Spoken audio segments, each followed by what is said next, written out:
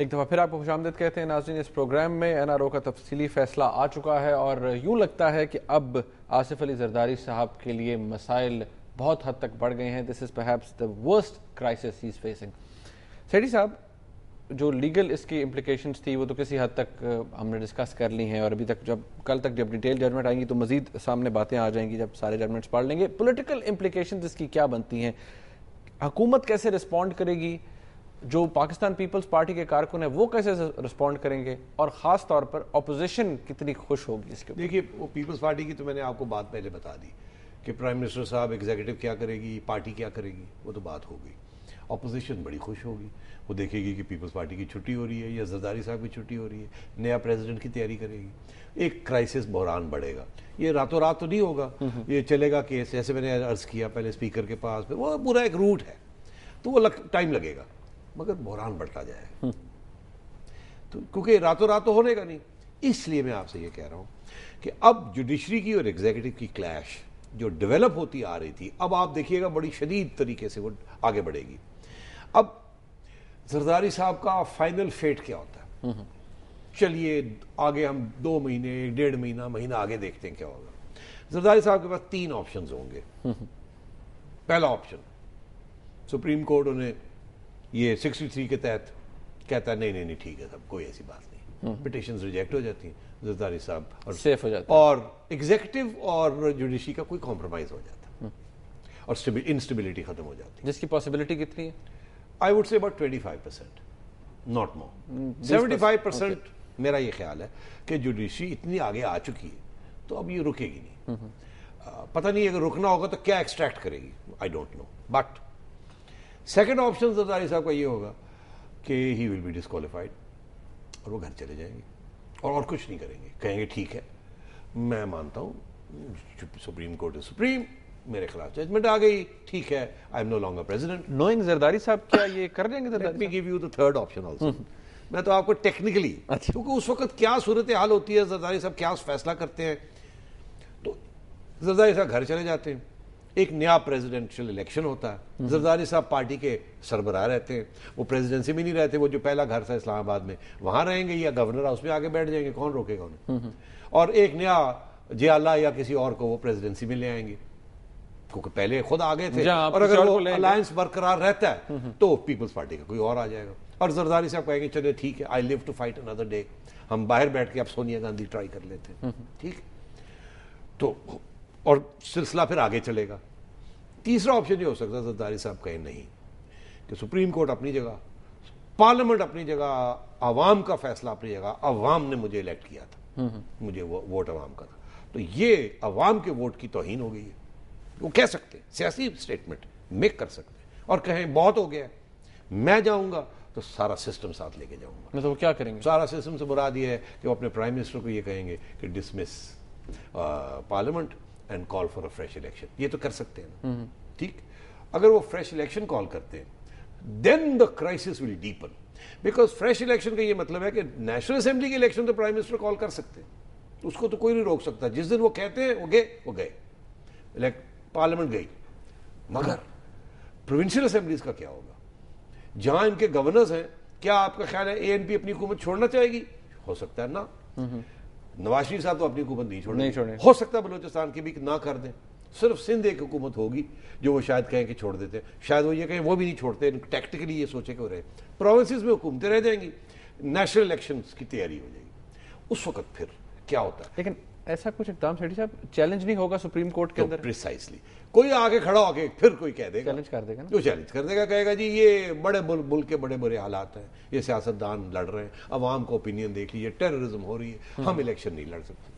और इस इस इस, इस माहौल में इलेक्शन नहीं हो सकता। आप एक इंटरिम गवर्नमेंट बनाए। सो इस वक्त सुप्रीम कोर्ट जो चाहे कर ले। बादशाह तो सुप्रीम कोर्ट वो बांग्लादेश में भी तो हुआ था ना हम्म, मैं हम्म, आपसे कल भी मैंने ज़िक्र किया बांग्लादेश मॉडल ये बात चल रही है। तो फिर उस वक्त क्या होता? है फौज की मदाखलत बिहाइंड द सीन्स कैसे होती? क्या अलायंसेस बनते? हैं आर्मी चीफ साहब टक टक टक टक मार्च फ़्लाइट लेफ़्ट राइट कहाँ जाते हैं कहाँ आते? हैं वो तो देखने वाली बात। बट ज़ाहिर है इस किस्म की क्राइसिस में फौज इन्वॉल्व हो जाएगी। फिर फौज और जुडिशरी और मीडिया किस तरफ़ लेके जाता है इस क्राइसिस को? क्राइसिस डीपन होती है हल होता है। ऑपोजिशन का क्या रोल होता है? जो मैं पहले दिन से कह रहा हूँ कि अगर जरदारी साहब माइनस वन है तो माइनस टू नवाज़ शरीफ है minus three forty three parliament है। और उसके बाद फिर क्या है हमें तो नहीं पता सेठी साहब लेकिन आप जब ये बात कहते हैं कि किसी भी तरह की सिचुएशन में अगर जरदारी साहब जाते हैं या ये गवर्नमेंट चली जाती है तो उसका फ़ायदा जो है नवाज़ शरीफ साहब को नहीं होगा। मेरी ये व्यू रही है कि नवाज़ शरीफ साहब को फ़ायदा नहीं होगा। देखिए माहौल क्या बाहर? सुप्रीम कोर्ट ने कहा सारे केसेस सबके खिलाफ खोले। नवाज़ शरीफ साहब बड़े खुश है ना कि इस वक्त फोकस हो रहा है जरदारी साहब और लोग भी कह रहे हैं लिख लें मेरे से मेरे से लिखवा लें फिर पिटिशन आएँगी दूसरी। नवाज़ शरीफ साहब चौधरी हजरात भी लेके बैठे हुए हैं सब एक दूसरे के खिलाफ लेके बैठे पेपर में सब। तो देखिएगा क्या होता है। ये सारे पॉलिटिशियंस एक दूसरे का गला काटने पे शुरू हो जाएँगे। सुप्रीम कोर्ट बैठा होगा वो सबको फारग करता जाएगा। सारा पॉलिटिकल सिस्टम क्राइसिस में आ जाएगा। सारे पॉलिटिशियंस कहीं ना कहीं फंस जाएँगे। मियाँ साहब का फ़ायदा नहीं होगा, मैं ये पहले दिन से कह रहा हूँ। मियाँ साहब का फ़ायदा उसी चीज़ में है कि जरदारी साहब अपनी टर्म कंप्लीट करें।